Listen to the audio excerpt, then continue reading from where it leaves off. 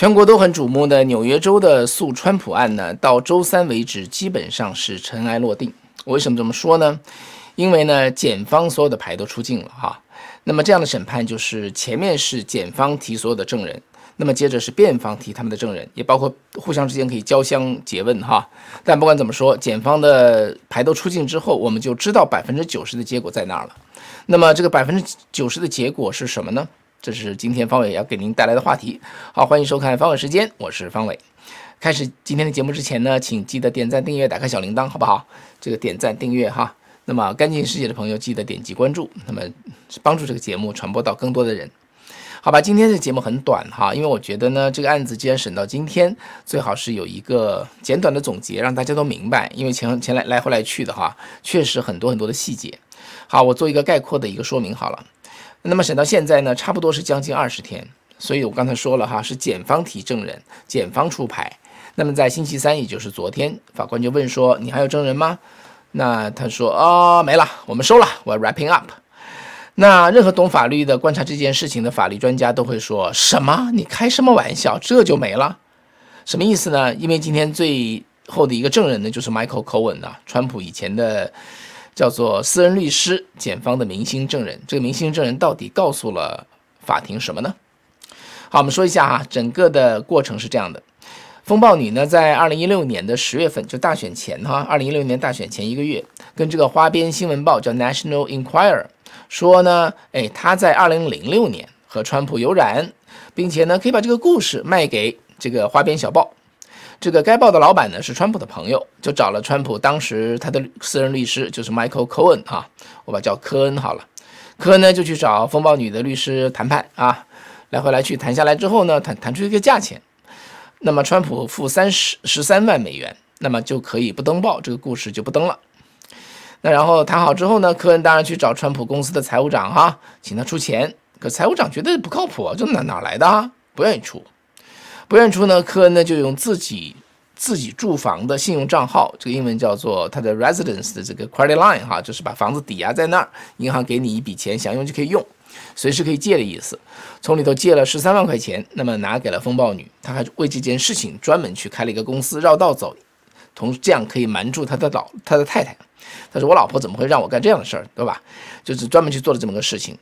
完了之后呢，再去拼命的说服川普的财务长啊，此事多么的严重啊啊，下个月就要选举了，现在不摆平的话，这个老板会选不上总统哎，等等之类的哈。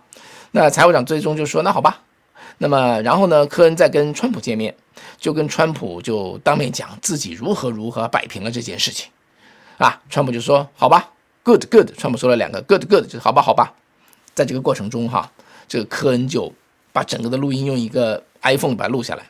那么前几天在法庭上就把它放出来，在纽约哈，还有在美国三十八个州，它叫做 one party，这个叫做 consent，就是一个人两个人对话，一个人就可以可可以决定录音，不需要两个人都同意哈。在美国另外十二个州那就不行的，双方都同意，否则你录了也不能上庭。那纽约呢是单方同意就可以，好吧？那谁都觉得哇，这当时他跟川普这个对话呀。那拿出来的这个录音，那肯定是有这个叫做什么来着？呃，这个内幕情况披露。结果什么也没说，川普就说 good good 啊，就就就基本上知道这个事儿了。好，那之后呢，财务长就答应不仅报销原款，再多些多给他些钱，让他付税哈，同时再给他应该是给点给一些奖励吧。那总而言之，最后就给了他四十二万块钱。好，那么这个钱呢，当然是给这个律师科恩的嘛。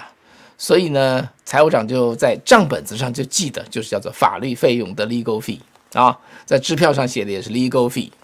那么这重复三十四次啊，就成了三十四桩罪了。那么以上这个过程说明了什么呢？说明了三点哈。第一点呢，就是这件事情叫做付付款就不开口，付款就封口的这个事情呢，是风暴女提出来的，然后科恩自己安排的，前后都是他弄的。这件事情呢，多么多么的紧急，也是他说的。川普听过之后，只是说：“好吧，好吧。”川普什么都没有说，什么都没有承认啊。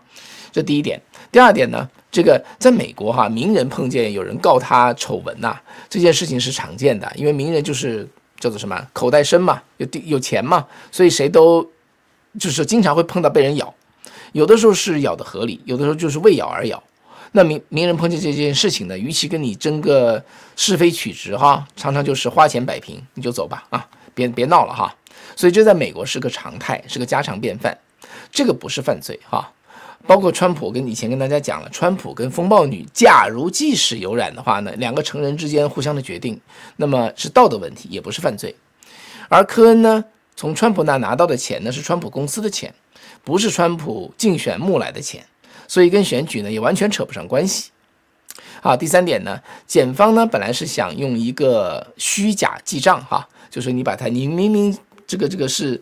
负着风暴女的，你写成一个这个法律记法律记录哈，以这个事情先定川普一个轻罪，叫什么 misdemeanor，再在审判中呢再扯出一桩重罪，这样就可以把川普关起来了。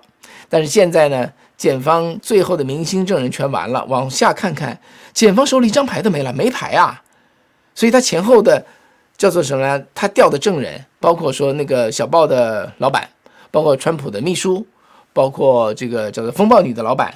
啊，风暴女不是老板，风暴女的律师，呃，再包括风暴女本人，再包括科恩这样子啊，全部走完之后呢，说的全都是大家已经知道的事儿，所以呢，都已经审完了，等于是哈，这桩重罪到现在也没找到是什么，也没说明是什么。那不仅如此呢，给这个律师科恩的钱，如果不交法律费用，那还能叫什么呢？他不就是他的律师吗？把钱给他，写个 legal fee。所以呢，这个虚假记账呢，这桩轻罪啊，在很多法律专家那里。也不成立，也就是说呢，审了三个半星期，既找不到川普犯了什么重罪，连最初的轻罪也弄没了。所以大家要问，检方这花二十天把一个前总统、现总统的竞选人，那么弄到法庭里头待二十天，你在折腾什么事儿？什么牌都没有啊？OK，那么这桩诉川案下面要怎么发展呢？首先呢，川普的律师一定会提出一个动议啊，叫做 motion。To direct judge，什么意思？就是法官阁下哈，咱们就别麻烦这陪审团了，他们都老百姓，搞不清这个轻罪重罪啊，这个这个有有罪没罪这些事儿，你就根据目前案子的情况直接判好了。呃，为什么要这么说呢？因为啊，任何懂法律的法官都知道，案件审到今天，既然没有罪证，川普就一定得判免罪。如果法官接受这项动议的话呢，那川很快此案结束，川普无罪。如果他不接受这个动议，还是要硬要把这个案子的审判权塞给那个陪审团的这十二个人的话呢，那就说明什么？那就说明这个法官是置法律常识于不顾，也就是他肚子里啊，他肚子里心知肚明，这是这是没案子的，但是还要把它塞给陪审团，因为陪审团不是那么懂这些法律啊，轻罪重罪如何如何，陪审团就是一个印象分，所以呢，靠他们的印象分印象分来判，如果这十二个陪审员。这十二个纽约人都是有证据没证据都要反川的人士，那川普就可能被还是被会被判罪啊。但是如果发生那样的情况，那是很极端的哈。如果真发生那个情况的话呢，川普的上诉可以说一定会赢。为什么？最起码两个原因。第一个呢，这这个审判的过程中有很不公正和很不专业的地方。比如说风暴女在作证的时候哈，她描绘二零零六年她跟川普有染的这个细节。跟这个起诉的案子哈，跟这个叫做法律费用是否扯到一个重罪毫无关系，法官却放任她讲，从他最开始怎么从事这个色情业开始，一直讲一直讲，讲的都是不相干的事情，都用这些很不好的细节，大家知道哈，那个很煽情的细节在影响影响观众，或者说在影响陪审团。OK，还有呢，就是这个案子审了二十天。指控不清，罪名不明，还继续审，这都是让审判可以不成立的原因。所以到了高层高级法院呢，那几乎一定会把它废掉。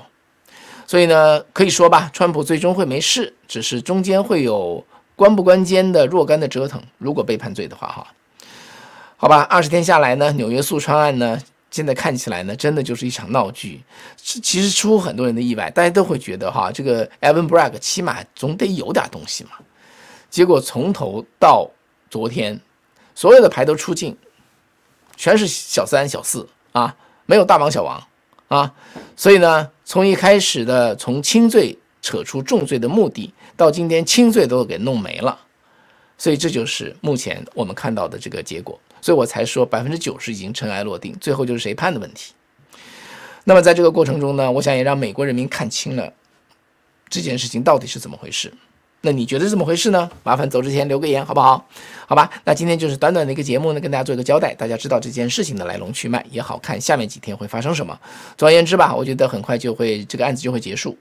那与此同时呢，再跟大家说一下哈，另外两个案子，在 J 六的案子和海湖庄园的机密文件带回家的案子呢，这两个案子都在最高法院，总统是否能够豁免啊？这个案子在六月中旬会审，所以那两个案子现在是停着的。还剩一个是乔治亚州的亚特兰大的那个案子，这个这个告川普的啊，这个这个 Finney Finney 什么？哎呀，算了，我都忘了。告川普的检察官自己现在一身麻烦。啊，人人家现在还在追他呢，所以呢，那个案子也是停摆，所以基本上呢，这四四件刑事案呢，呃，现在都处于一个弄不出什么名堂来的一个状态中，好吧？你怎么看呢？走之前记得留个言哈。好的，谢谢大家的观看，就是短短一个节目哈。那我们星期四晚上再见，拜拜。